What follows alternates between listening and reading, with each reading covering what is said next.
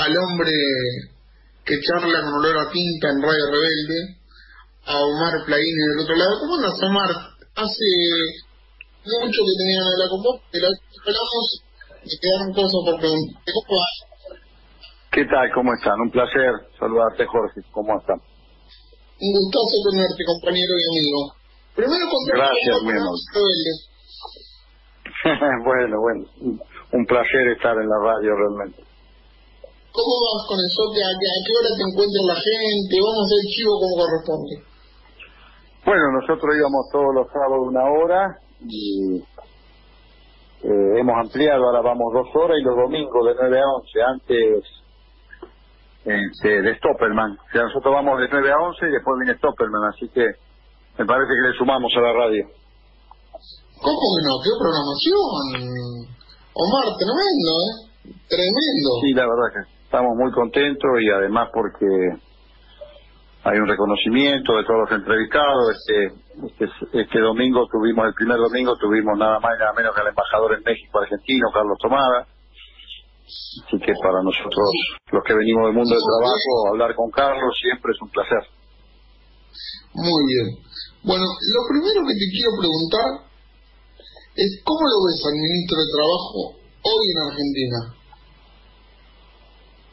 Mira, eh, primero es el hombre que eligió el presidente y ya eso solo amerita eh, el respeto que debemos tener por los colaboradores que elige un presidente. En segundo lugar, me parece que está interactuando inteligentemente en una situación difícil, en un momento donde tenés una manta corta.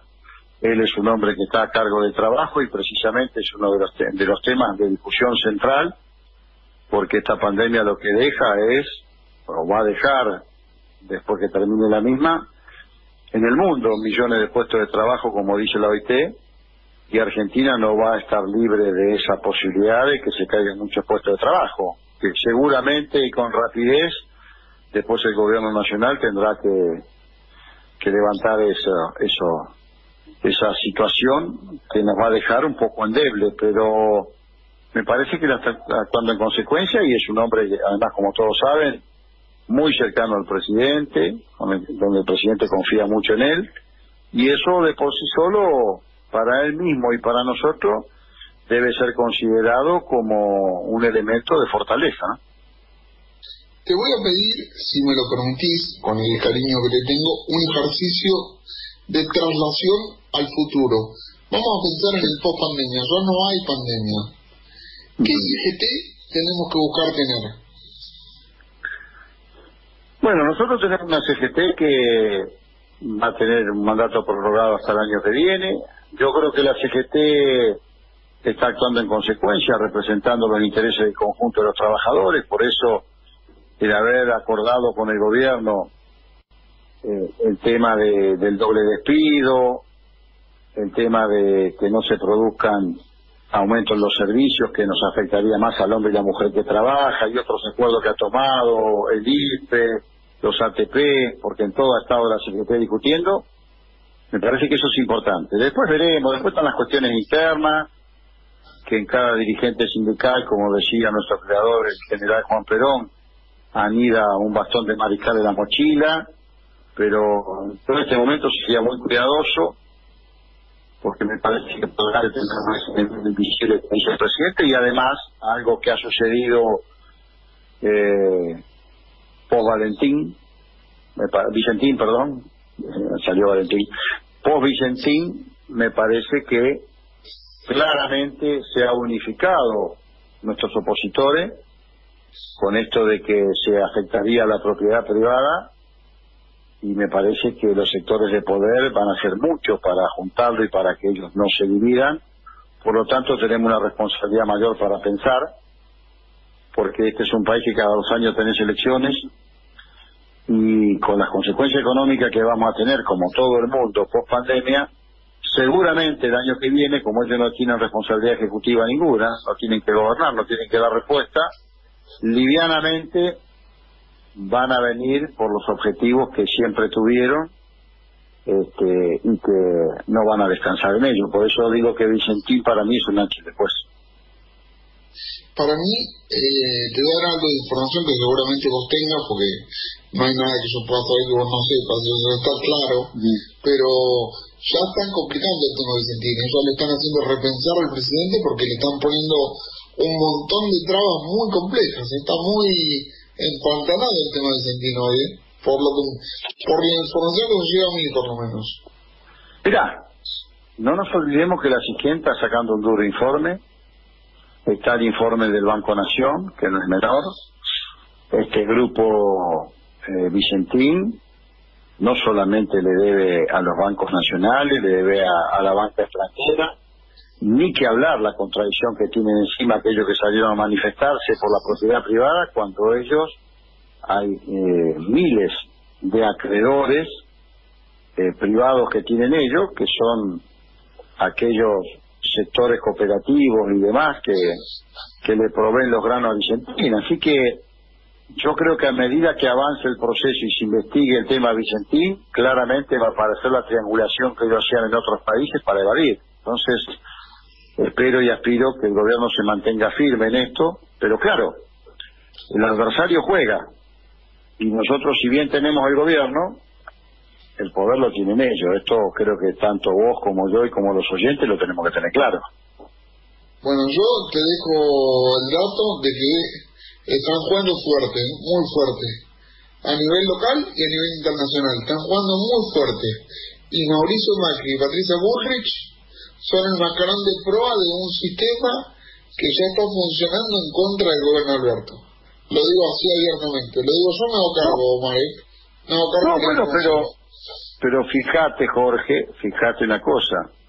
Después que se reunió, esa reunión que tanto volandieron el parche la vicepresidenta y el presidente de la Nación al regreso ella de Cuba de su último viaje, a los 15 días de sucedido ese encuentro, se reunió Macri con Elisa Carrió. Y ahí planificaron y ordenaron su estrategia interna. De hecho, hay un cuestionamiento por lo que surge o por lo que trasciende con el propio jefe de gobierno de la ciudad y su fuerza. Así que esto está claro. Me parece que eh, en todo caso tuvimos un veranito nada más, pero yo no esperaba otra cosa. Era el momento en que ellos iban a salir con todo. Y, y bueno, lo están demostrando ahora.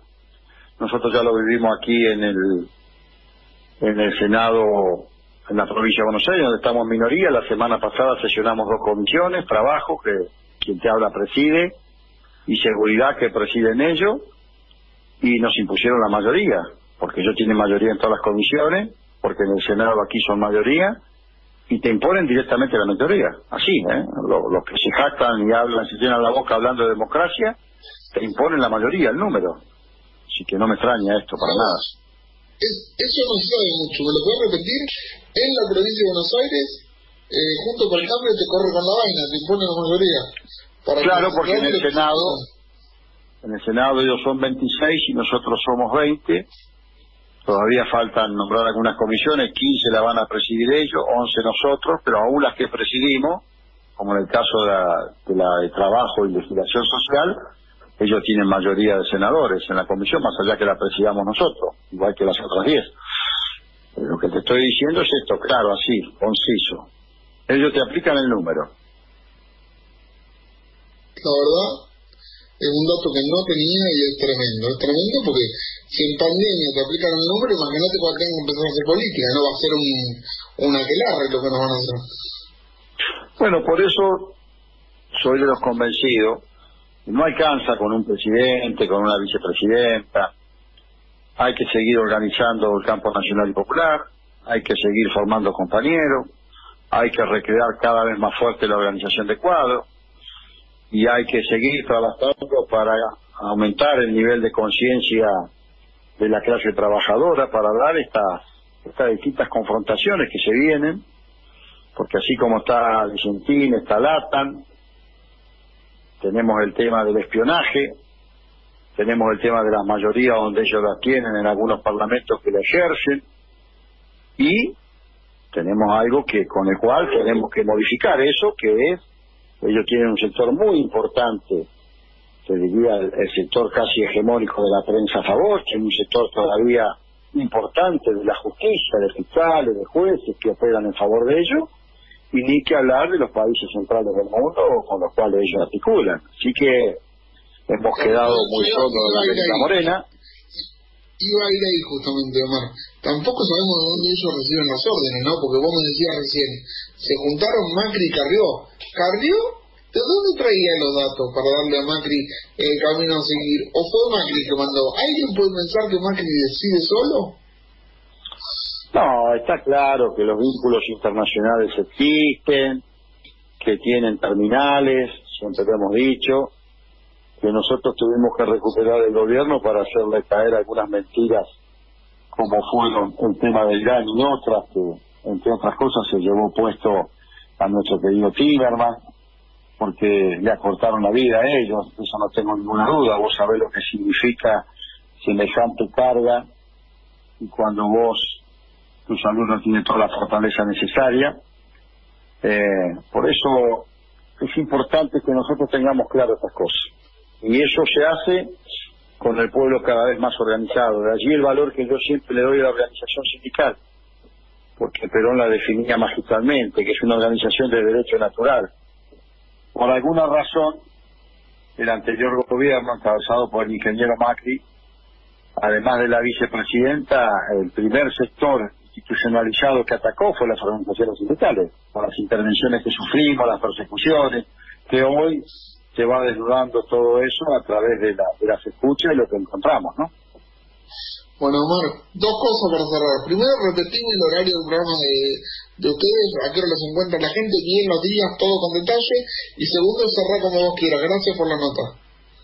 Ya, charlas con olor a tinta a los domingos de 9 a 11, donde abarcamos la realidad de la provincia de Buenos Aires, la ciudad de La Plata, la de la actividad, obviamente, de Canillita y también siempre con algún invitado como los que hemos tenido, ¿no? El último fue Tomada, lo hemos tenido a Evo, a Hugo Moyano, a Pedro Saborido, a Galazo, a Vanessa Siley, a Piñanelli. Hemos tenido grandes invitados en nuestro programa y así lo vamos a tratar de seguir haciendo. Bueno, yo me iría me iría con una frase del, científico que tanto admiro, que es Einstein, ¿no? Que siempre la repito, digo, en momentos de crisis la imaginación es más importante que el conocimiento. Debemos imaginar el futuro que viene y poner toda la fortaleza allí. Te mando un enorme abrazo, quiero decirte públicamente que es un honor compartir radio con un tipo como vos, de verdad lo digo. Es como un poquito sentirme parte de la trinchera, sin, sin tomarme ninguna atribución, no, humildemente. Muchísimas gracias, de verdad.